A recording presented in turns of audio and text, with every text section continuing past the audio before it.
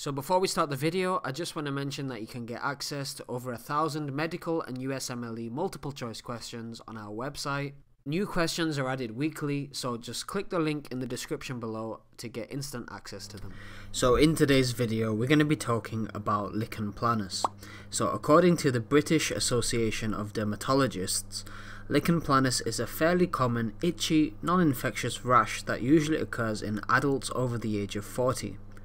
The word lichen is derived from Greek, which means small bumps, and planus comes from Latin, which means flat. This means that the name actually originates from the appearance of the disease. So, the symptoms of lichen planus involve numerous itchy eruptions on the skin, particularly on the wrists and the ankles. They can also affect the mucosa of the mouth, the genitals, and the scalp. These itchy eruptions are usually shiny, purple, and have a flat top. They are known as papules.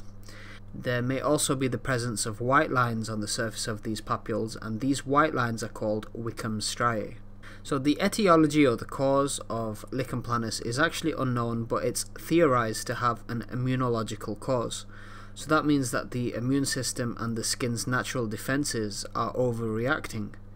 So when we take a sample of the skin and examine it under a microscope, there's a high amount of lymphocytes around the basal keratinocytes, which means that they are attacking these cells. So what this results in when you look in the microscope is edema, which means swelling, and the formation of clefts.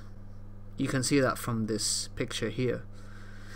It's important to remember that lichen planus is actually a non-contagious disease, but it could be quite severe in its appearance, causing hyperpigmentation and the formation of bullae.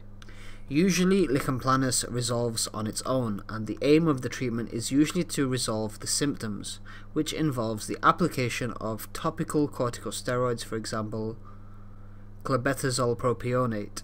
In more severe cases, the corticosteroid is given orally alongside immunosuppressive drugs like methotrexate and mycophenolate mofetil. And with lichen planus lesions in the oral cavity, it's important to have an exact diagnosis of lichen planus before a treatment plan is made, and this is because the lichen planus papules and the white lines called Wickham striae may resemble other diseases like a squamous cell carcinoma. So a biopsy should be taken and then further treatment can be made. So further treatment of lichen planus in the mouth involves improving oral hygiene, application of topical corticosteroids like betamethasone, or giving systemic corticosteroids in severe cases.